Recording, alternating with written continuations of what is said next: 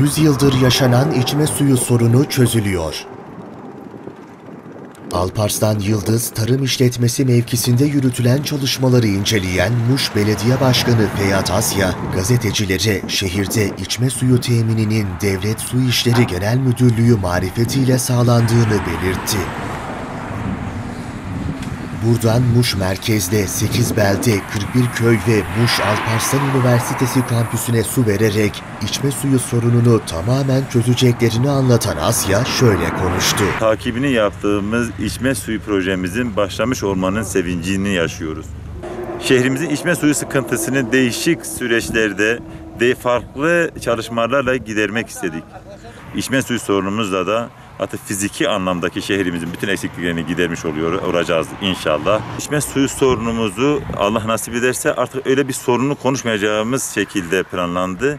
Şu anda Muş merkezle birlikte 8 tane beldemiz, üniversite kampüsümüz ve 41 tane köyümüzün içme suyunu inşallah artık bir kez daha sıkıntı olmayacak şekilde planlanıyor. Bu ise e, zaten 1400'lük borulara baktığınız zaman e, yaklaşık e, 30 kilometre e, ana isale hattıyla birlikte diğer ilçelerimize ve beldelerimize de ulaştırdığında yani nüfus olarak değil de bu şehrin içme suyu sorununu tamamen rafa kaldırmış olacağız.